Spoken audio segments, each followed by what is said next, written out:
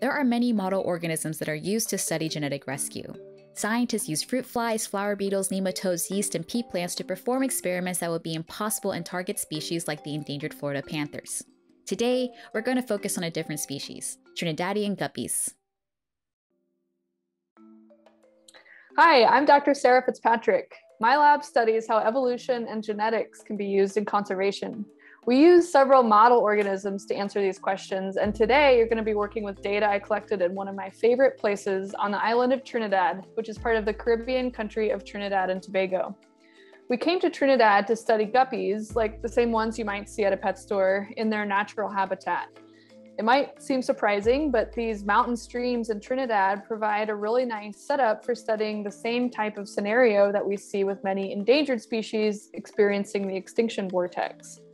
For this study, we focused on a tiny population of guppies with only a few individuals and very little genetic variation.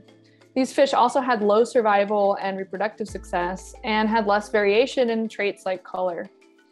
So even though guppies themselves aren't endangered, this small guppy population that we studied models many of the features of endangered species.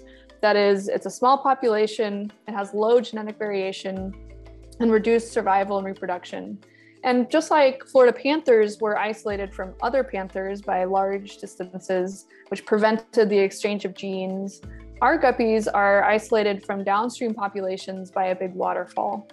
So these parallels make Trinidadian guppies a really great system for better understanding the details of genetic rescue so that we can have the best chance of success when we're actually trying to prevent extinction of an endangered species.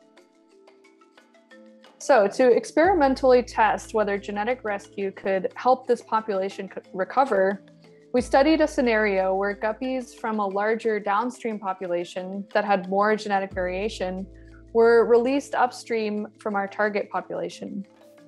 And individuals from the translocated site could then swim or get washed downstream and breed with the small recipient population, but those downstream individuals were prevented from swimming back upstream by small waterfall barriers. This resulted in gene flow, which is when genetic material from one population moves into another population. Ultimately, it's gene flow, the movement of genes between populations, that causes genetic rescue. For example, as you've heard, in the 1990s, it was proposed to move panthers from a Western population into Florida. This gene flow, the introduction of that new genetic variation, could then potentially allow Florida panthers to recover from inbreeding. In my lab, we're using guppies to study how new gene flow might or might not result in genetic rescue.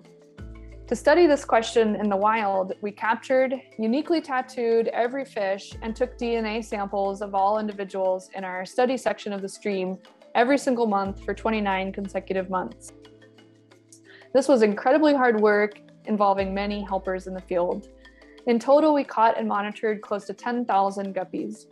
Our goal with all this work was to test whether gene flow caused genetic rescue by increasing genetic variation, improving survival and reproduction, and ultimately increasing population size. Did Dr. Fitzpatrick's research study show genetic rescue? Or did the guppy population crash after the new individuals were introduced? It's time for you to analyze the data and find out.